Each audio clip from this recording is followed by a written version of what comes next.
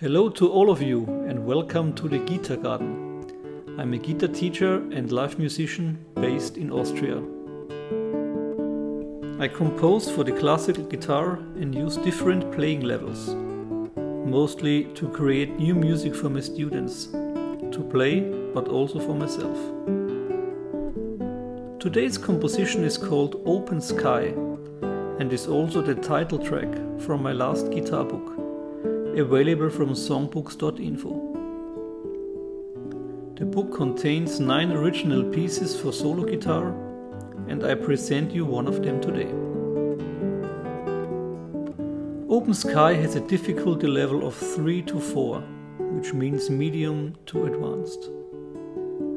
The tune contains rhythmic and groove oriented playing in the first part and more lyrical expression in the second part.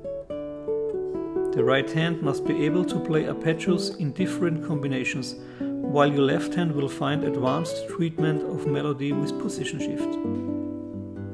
You will also find a kind of map before every tune in my videos about key, duration, time signature and so on. If you like the music and want to play or learn it for yourself, or use it for teaching with your own students, feel free to visit my website where you can find my compositions and collections of tunes, my books and so on. Like every garden, also the guitar garden should grow, so I will regularly present my music for guitar here on YouTube. If you like my creations and want the garden to grow and don't want to miss an episode, subscribe and hit the bell. It would be a pleasure for me to stay in contact with you.